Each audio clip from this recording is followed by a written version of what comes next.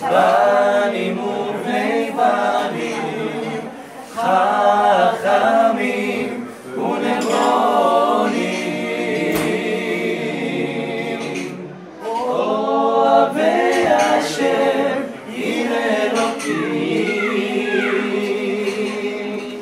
אנשי אמת זרע קודש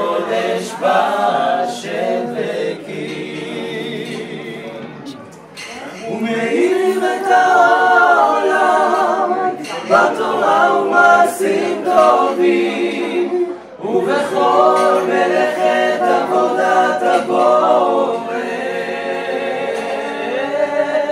ומאירים את העולם בתורה ומעשים טובים